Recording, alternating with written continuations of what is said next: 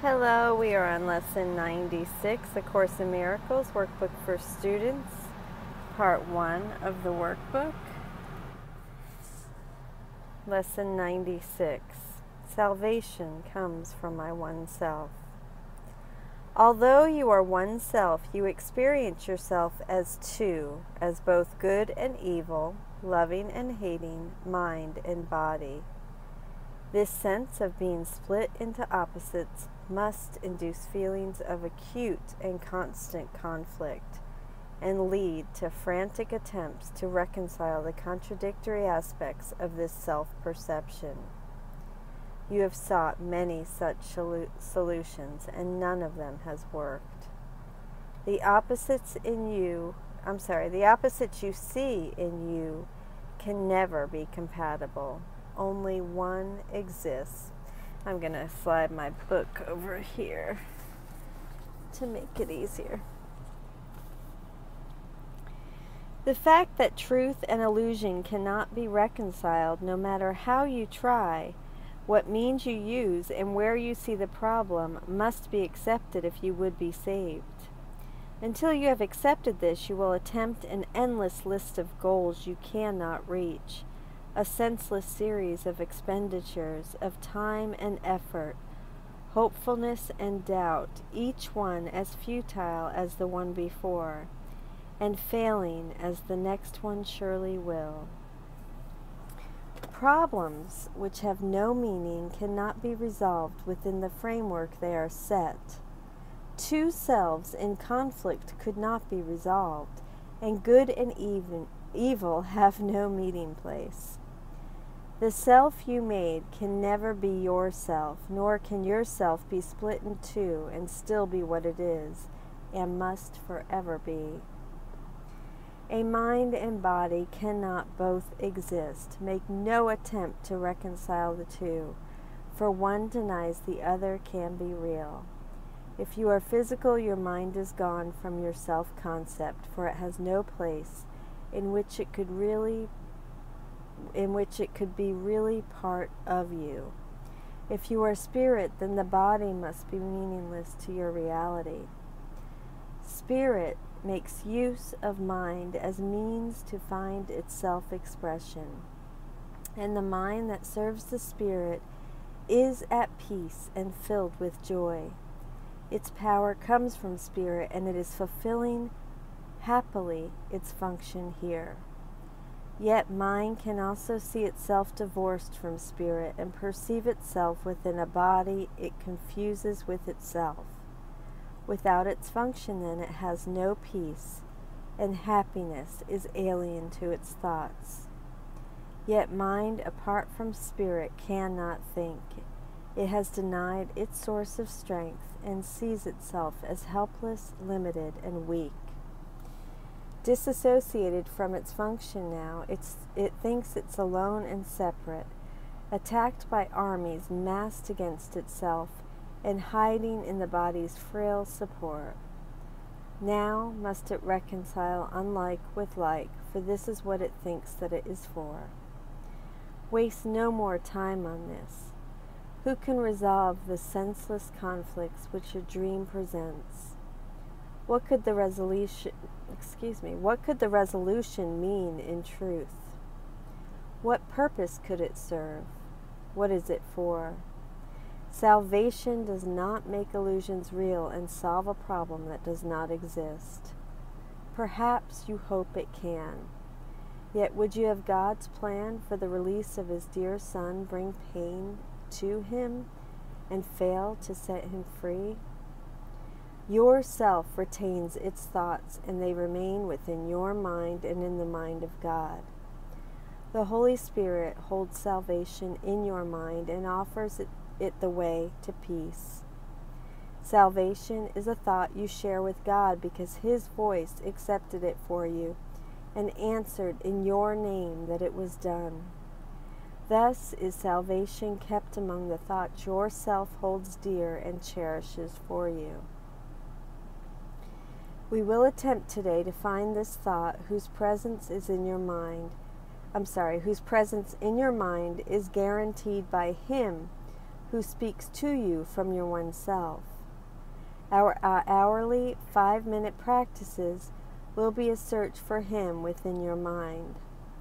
Salvation comes from this one self through Him who is the bridge between your mind and it. Wait patiently and let Him speak to you about yourself and what your mind can do, restored to it and free to serve its will. Begin by saying this Salvation comes from my one self. Its thoughts are mine to use. Then seek its thoughts and claim them as your own. These are your own real thoughts you have denied, letting your mind go wandering in a world of dreams to find illusions in their place. Here are your thoughts, the only ones you have. Salvation is among them. Find it, he, find it there. If you succeed, the thoughts that come to you will, re- will teach you. I'm sorry. If you succeed, the thoughts that come to you will teach you you are saved and that your mind has found the function that it sought to lose. Your self will welcome it and give it peace. Restored in strength, it will again flow out from Spirit to the Spirit in all things created by the Spirit as itself. Your mind will bless all things. Confusion done, you are restored, for you have found yourself. Yourself knows that you cannot fail today. Perhaps your mind remains uncertain yet a little while. Be not dismayed by this. The joy yourself experiences, it will save for you, and it will yet be yours in full awareness. Every time you spend five minutes of the hour seeking Him who jo- I'm sorry, who joins your mind and self, you offer Him another treasure to be kept for you. Each time today you tell your frantic mind salvation comes from your, your one self, you add another treasure to your growing store. And all of it is given everyone who asks for it and will accept the gift. Think then how much is giving unto you to give this day that it be given you. And we have a footnote 149. Perhaps your mind remains uncertain yet a little while. Be not dismayed by this. The phrase be not dismayed occurs several times in the Bible. See, for example, Isaiah 41:10. Fear not, for I am with you. Be not dismayed, for I am your God. I will strengthen you. I will help you. I will uphold you with my victorious right hand. Be not dismayed. Lesson 96 Salvation comes from my one self. And this is why I like to read along because you, when I read, last year I just read with my face facing the camera. And you can't see the, the capitalization, which is totally changes the um,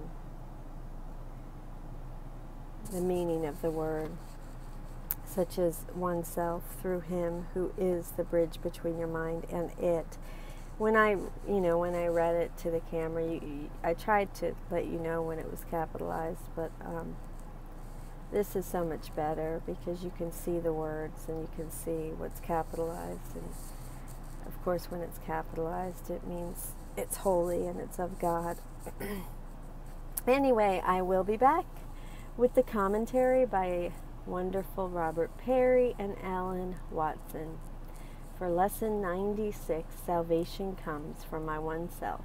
I love you. Thank In you. the commentary by Robert Perry and Allen Watson, lesson 96, Salvation Comes from My One Self. Practice instructions. The purpose is to find the thought of salvation deep within your mind and let it restore your mind to its true function of blessing all minds. Longer practice period um, every hour on the hour for five minutes. If you cannot do this, at least do the alternative. Say, salvation comes from my one self. Its thoughts are mine to use. The remainder seems to be a combination of meditation in which you try to contact your real thoughts, as in Lesson 45, and listening to the Holy Spirit, in which you listen for spiritual teaching, as in Lesson 76. Search deep within your mind for the presence of the Holy Spirit. He is there to speak to you your true thoughts, the thoughts of your true self, in particular, the thought of salvation. If you succeed, thoughts will come to you telling you that you are saved and you can save. These thoughts are more than just information. They will fill your mind with strength, enabling it to bless all minds. Remember the training you've received both in meditation and in listening to the Holy Spirit. Hold your mind in a state of quiet attentiveness. Listen in confidence and draw your mind back from wandering when necessary. Frequent reminders. I apologize frequent reminders. As often as possible, repeat the idea. While you do, imagine that you are laying another treasure in your treasure house. A treasure you can claim anytime you want. If you will, go ahead and repeat the idea in this fashion now. Salvation comes from my one self. Encouragement to practice. You may feel uncertain of success today, but yourself knows you cannot fail. Your practice will bring joy to it, and it will save this joy for you, storing it in your treasure house until you are ready to take it out and experience it. Commentary. Have this dog breathing down my neck here, so I hope she keeps shaking into me. She loves attention, of course, when I'm not, when I'm doing something else like a child. Commentary. Although you are oneself, you experience yourself as two. Experiencing ourselves as divided is a universal experience. Even the very practice of these lessons makes it evident to us. On the one hand, we want to do the practice because we want to go to God. We want enlightenment. On the other hand, when the hour comes and it is time to take our five minutes, something in us resists doing it. It seems as if there are two selves in us, one good and the other bad, one wanting the light and the other holding onto the darkness. Most of my life I lived with this, believing my experience was the truth. Something in me, however, told me it was not so. How could I be two selves? How could I have two natures? As my Christian back, background taught me, fresh flesh and spirit. It didn't make sense. The nature of something, of anything, is always one. The Course explains that one spirit, one spirit is real, the other, the separated self that experiences being a body, is unreal, nothing more than a figment of my imagination. I am not divided, and all evidence to the contrary is a trick of the mind, a self deception based on the illusion of being split into opposites, the mind has sought many solutions. It has been duped into believing in the reality of this split and the reality of physical being. Therefore, it occupies itself endlessly trying to make things work, and they never do. The mind becomes the servant of the body, trying to devise ways to make the body comfortable to pleasure it, to make it last forever, to keep it safe from harm. In doing this, the mind has lost its true function. Our one self is spirit. In its preoccupation with the body, the mind has, for the most part, lost sight of spirit. It needs to regain its true function of serving spirit. Spirit makes use of the mind as, me, as means to find its self expression. This is what brings us peace and fills the mind with joy, while serving the body brings it nothing but conflict and pain. The thoughts of spirit seek expression through our minds. That is what minds are for. The Holy Spirit is an agent of divine help, bringing the mind back to its true function of serving spirit. He is the representative of spirit of ourself to our minds, constantly calling us to set aside this futile fumbling for salvation in the realm of the physical and to open our minds to spirit. If you are spirit, then the body must be meaningless to your reality. Because we have dissociated our minds from their true function, we think we are alone and separate. We need a helper who reminds us of our true connection to spirit. Our spirit, our self, retains its thoughts and they remain within your mind and in the mind of God. We remain in spirit as God created us. So we are not trying to change what our minds are, but rather the purpose they serve. We are seeking in these exercises to reconnect to spirit. To oh, wait, where?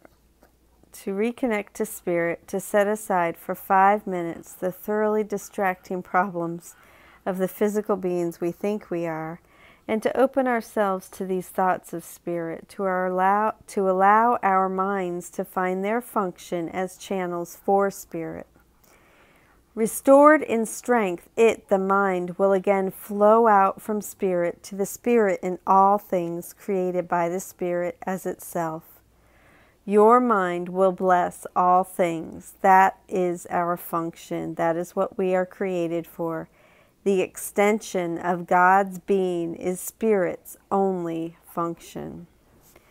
So I am rediscovering so I am rediscovering myself as an extender of God's being. God is love and so I love.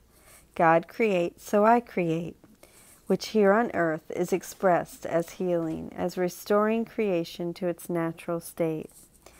This self that the course is talking about is not something apart from me. It is me. Talking about seeking the thoughts of my one self almost makes it seem as if the self is this separate being I am seeking to communicate with. But the self is me. Here you are. This is you, it said in Lesson 93. We are bringing the mind into contact with our spirit, but it is already me.